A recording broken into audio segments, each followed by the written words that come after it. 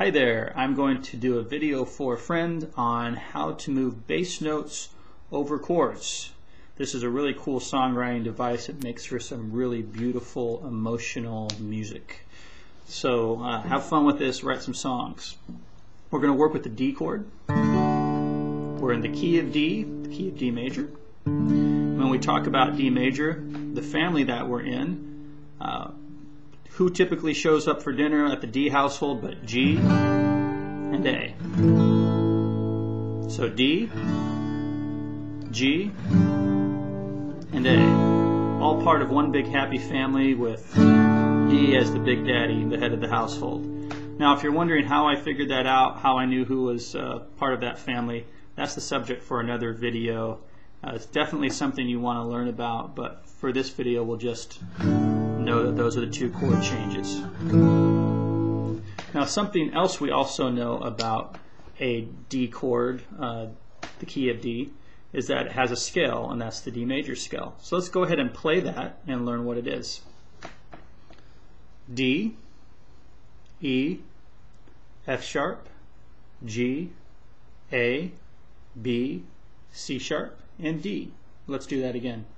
D, E, F sharp, G, A, B, C sharp, and D. Now let's play that on the guitar. Now since my lowest D note on the guitar is right here, that's the third string, open position. That's the lowest note I can start with if I'm starting a D scale on D. So I'm going to start there, and then I'm going to continue the scale. So D, E, that's the low string, open position. F sharp, low string, second fret. G, low string, third fret. A, second string, open position. B, second string, second fret. And then finally C sharp, fourth or second string, fourth fret. And we finally end it back on D. And that's again the same position, open position on the third string. So let's do that again a little faster. D, E, F sharp, G, A, B, C sharp, D. Now if you didn't get that, go ahead and rewind the video right now and we'll learn the notes until you're comfortable. Next, we're going to actually walk that scale backwards. D, same notes, although in this case I'm using the second string fifth fret, which is the same as the open. You know that from tuning. So starting on D, fourth fret, C sharp, second fret B, open position A, low string, third fret G, low string second fret F sharp, and an E. A little faster. Of course, end on D. D, C sharp, B, A, G, F sharp, E, D, D. Oop, messed up there. So we end on D. The reason I go backwards and forwards is because when we're talking about moving bass notes over the top of chords, sometimes we move sequentially backwards and sequentially forwards. So it's a good idea for you to be comfortable with playing the scale backwards and forwards on your guitar. Now, let's let you hear a little bit about how some of this might sound. So I'm going to take a D chord first of all. And I'm going to move the bass line now down one to C sharp. Ah,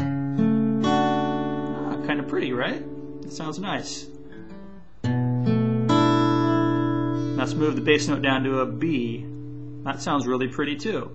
Now I'll show you how to do all these a little bit later. A. Again, kind of pretty, more solid, not as weird as the last two. How about a G? That one's actually really pretty too. And then an F sharp. How about an E? Not bad, a little weird. Just resolve it back to a D. So pretty cool. You just heard some different, what we call voicings for D and some different bass notes associated with a D.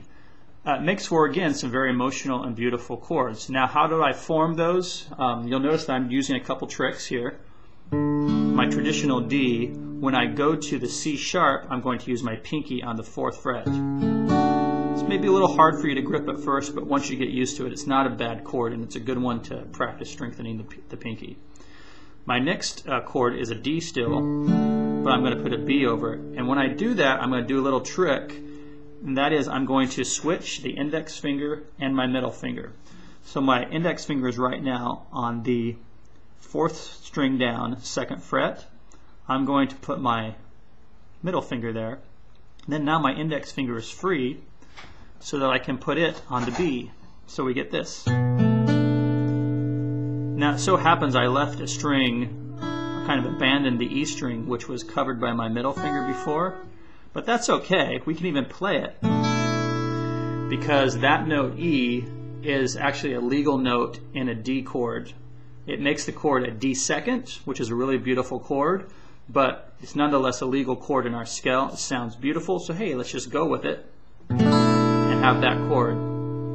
Now our A, A bass note over a D, we just open up and use the lowest note open position on the fifth string. Now how about a G? Now a G I'm going to switch a little bit again. I'm going to go back to my traditional D chord. Now I'm going to take the middle finger, don't mean to flip you off there, nothing personal, and I'm going to move it up to the G.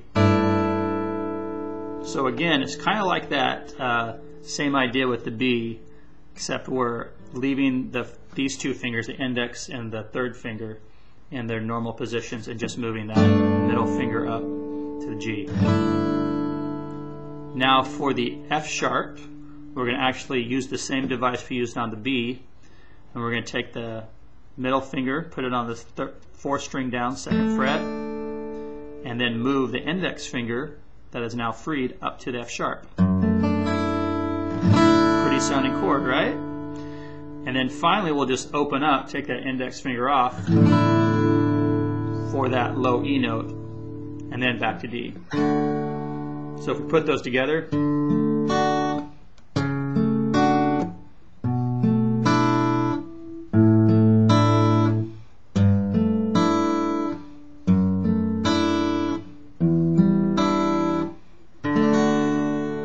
Bad, huh?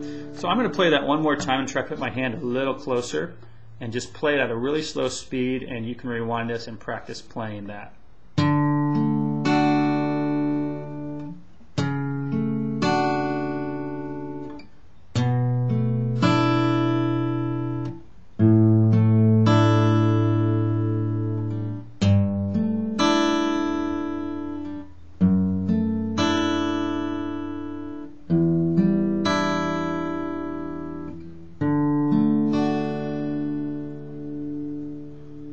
One more time.